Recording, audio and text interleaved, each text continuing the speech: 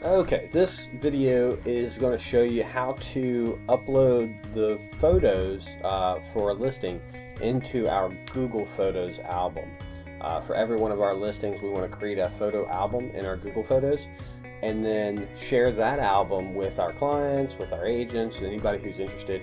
Um, this just allows some really robust uh, playing around with these photos in the future, but makes it super simple to share them uh, throughout this listing process. So if any agent has inquiries on it and says they can't find them on the MLS, or maybe they're from out of a different city and they don't have access to our MLS, we can just share the link to these Google Photos with those agents and they can see them.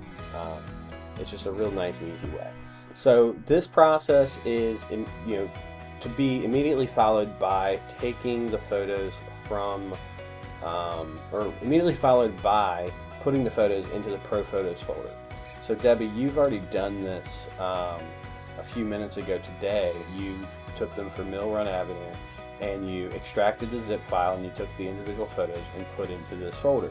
Uh, so from here, the agents are supposed to go in and rename these photos uh, sequentially in the order that they want them to show up on the MLS. So as I'm working on this, if Laura's already started on it, um, we should see these photos start to rearrange by numbers.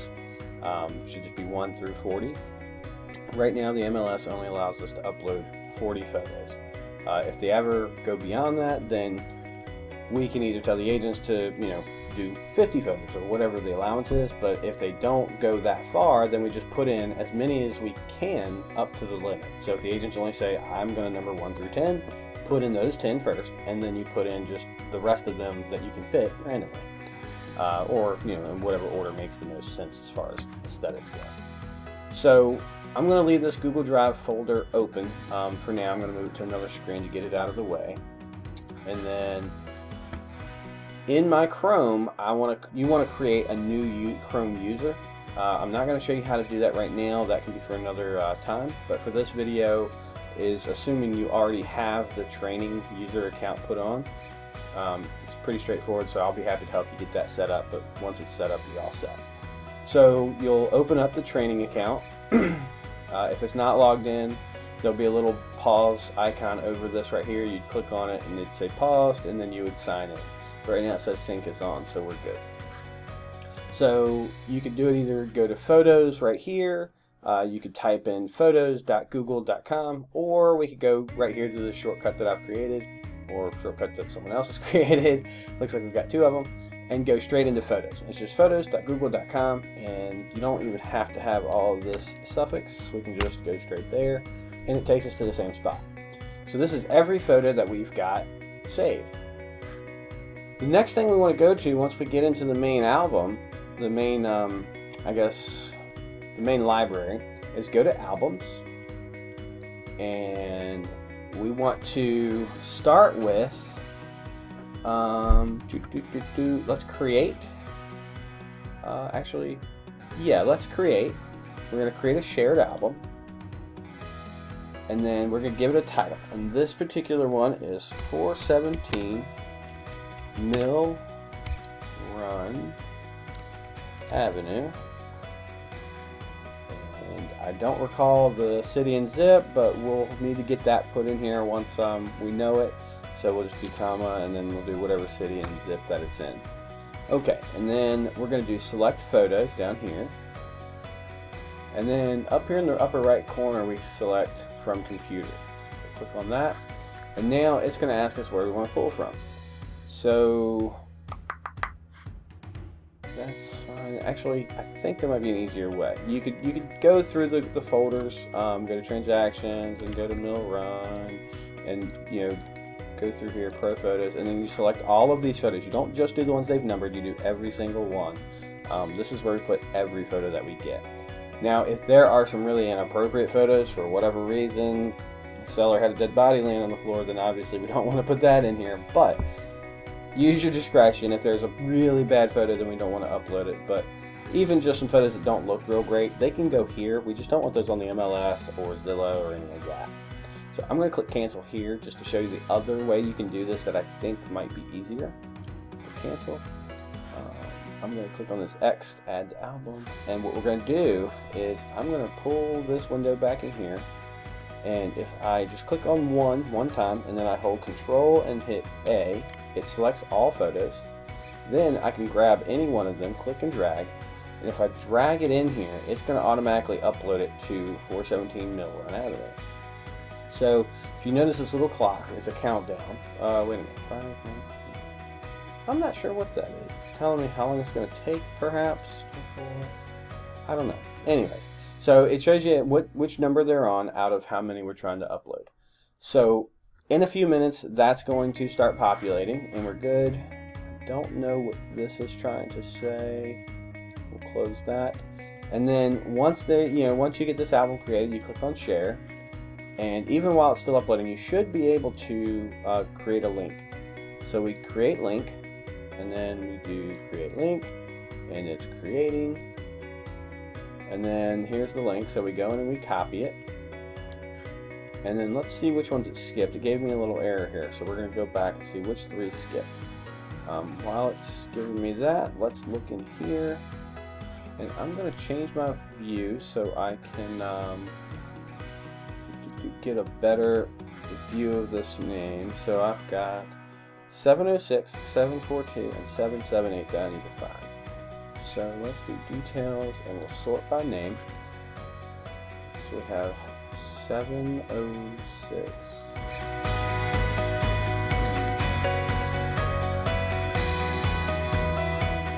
I'm not sure what's going on here. We'll, uh... Oh, look at that. So it looks like she's already gone and that's why. That's why I can't find them either. So I'm she's already started renaming them and they must have gotten renamed in the middle of my upload. So I'm going to pull these. That shouldn't really happen to you. That's why it threw me for a loop. That's that hardly ever happens. Generally speaking, nobody else will know these photos even exist until after you've taken care of this part. So as soon as you put them in Google Drive, go ahead and drag them in here because um, that's. Fine. So as far as the photo name goes, yes, if you were to open the photo and you go up here, oops, and you go up here to this little eye, it is going to give you the name of the photo. Um, so right here, this DSC. This is what the digital camera actually pulls it, you know, gives it a name. So it's kind of irrelevant. Don't worry about that. I'm not worried about names on here. Um, they will be out of order. So if you do have the agents ordering them, what you can do is wait to do this part until after they do it. It's just we want to get this part done as early as we can, and the order of the photos on this album aren't quite as necessary. Um, and I believe that can actually be reorganized manually just by uh, I forget exactly how to do it. So once all of these photos are in this album, I'm going to go and close this here. Okay, once they're all in this album, um, what we can do is select all. Nope, that's not what I want to do. Where are they? So if we click on this top one, scroll way to the bottom, hold the shift key and then click on the bottom one, it will highlight everything in between. We then want to add it to another album. So I'll show you what this is and why. Okay, so the next step we want to do is select all of these and then um, add them to a different album. So what we're to do is add to shared album and it should give us an option of other albums. We have, oh, there it is, all listing photos. So unfortunately, we can't share every photo we have with anyone publicly. Um, let me exit out of here, go back to my Google Photos, and I'll show you what I mean. So if you just go to Photos, this shows every photo we have. And if you keep scrolling, you can see the timeline on the right side. And it goes back to 2015 when we first started the company. You know, well, actually, this is 2015. Yeah, I guess this is when we first started the company, right here. So we can't share every photo that we've taken. However, what we can, what we've done is I've created an album where we take all of our listing photos and we've added it to this one album for every listing. So if we go to this all listing photos, we can now share this with all of our agents or anyone who is doing marketing for us and they can go in they can see every listing we've had. Unfortunately there is no timestamp on them or date stamp so we can't quite filter it out real clean for them um, fortunately for like Brittany who's doing our marketing she can um, go into this album you know to this account and actually pull what she needs when she needs it you know however she wants Um, additionally, what she's doing is she's creating other albums. Let's see if we can find any. Um, some other albums for like houses with pools, or maybe horse farms, or maybe some fantastic fireplaces. You know, just all sorts of different things. Um, so that way we can pull those albums and use, you know, the, the photos from those albums for different uh, marketing uh, campaigns. But anyway, so you can see these are all different listings. Um, they haven't been done 100% correctly in the past. As you see, it's just you know 50, uh, 515 Maple Avenue. What we want to start doing going forward is have the actual city and the zip code in. I'm not worried about the state since we haven't left Virginia yet. Um, if we do expand beyond Virginia, then we'll want to maybe change the way we do it again. But for now, just the city and, and zip is plenty. Uh, if you want to put the state, you're welcome to. It's just not necessary. So that's the process of putting them on Google Photos. Uh, I'll get you the login info if you don't have it by now, by the time you see this video. Um, to get logged in here, um, it is our Google training at keetonco.com account, uh, just so you know. And um, that's how we do the Google Photos. So I'm going to stop this video now. Thanks for watching.